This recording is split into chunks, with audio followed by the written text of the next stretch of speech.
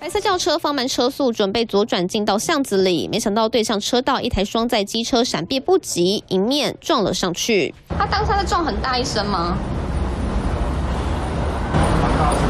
换个角度看得更清楚，后座乘客当场被抛飞，在空中转了整整一圈，跌坐在轿车车顶。有路人见状吓坏了，赶紧上前撑伞遮阳，关心状况。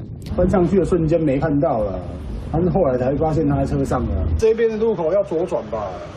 撞到的啊，然后那边那边直行啊，来过来撞的，转弯转弯的地方啊，对啊，经常出车祸啊。重回事发现场就在新北市板桥，幸好伤者只有擦挫伤，送医后没有大碍，只是马路如虎口。同一天下午，在桃园平镇也发生类似车祸。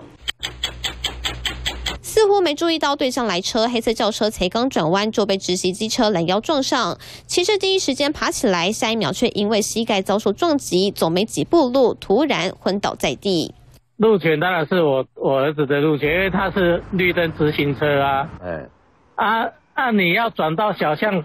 里面去，你要停了，确定没车，礼让直线的没车，你才能转啊。警方获报，立刻到场要厘清肇事责任，对驾驶进行酒测后，才发现是荒唐下肚。牛男酒测值为每公升零点二五毫克，讯后一公共危险罪嫌移送桃园地检署侦办。幸好两起意外都不严重，但再看一次惊悚瞬间，还是让人吓出一身冷汗。四零九黄玉凡、张玉杰、杨心怡、新北。